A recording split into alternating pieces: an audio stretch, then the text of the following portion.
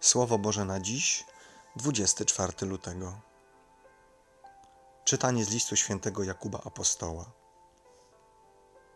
A teraz wy, bogacze, zapłaczcie wśród narzekań na utrapienia, jakie was czekają.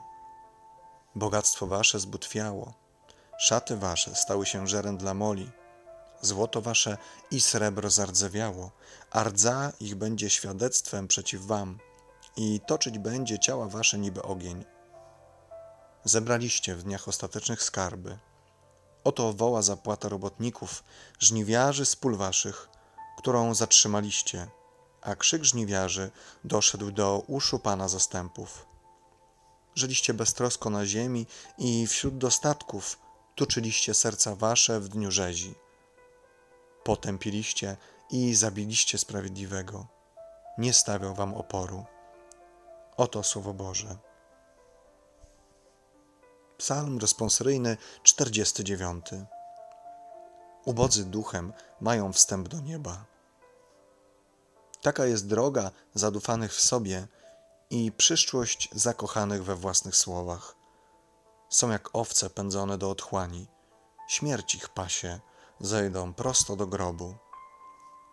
Panować nad nimi będą sprawiedliwi Rankiem zniknie ich postać, ich mieszkaniem jest otchłań. Lecz Bóg wyzwoli moją duszę z krainy umarłych, zabierze mnie do siebie.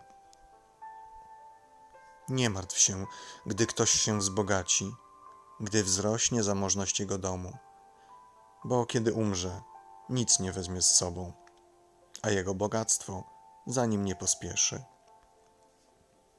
I chociaż w życiu schlebia sam sobie, będą Cię sławić, że urządziłeś się dobrze.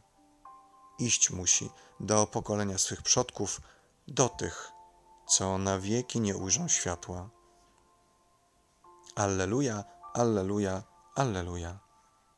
Przyjmijcie Słowo Boże nie jako Słowo ludzkie, ale jak jest naprawdę, jako Słowo Boga. Alleluja, Alleluja, Alleluja. Słowa Ewangelii według świętego Marka. Jezus powiedział do swoich uczniów: Kto wam poda kubek wody do picia, dlatego że należycie do Chrystusa, zaprawdę, powiadam wam, nie utraci swojej nagrody. A kto by stał się powodem grzechu dla jednego z tych małych, którzy wierzą, temu lepiej byłoby kamień młyński uwiązać u szyi i wrzucić go w morze. Jeśli zatem Twoja ręka jest dla ciebie powodem do grzechu, odetnij ją. Lepiej jest dla ciebie ułomnym wejść do życia wiecznego, niż z dwiema rękami pójść do piekła w ogień nieugaszony. I jeśli Twoja noga jest dla ciebie powodem grzechu, odetnij ją. Lepiej jest dla ciebie chromym wejść do życia, niż z dwiema nogami być wrzuconym do piekła. Jeśli Twoje oko jest dla ciebie powodem grzechu, wyłupie.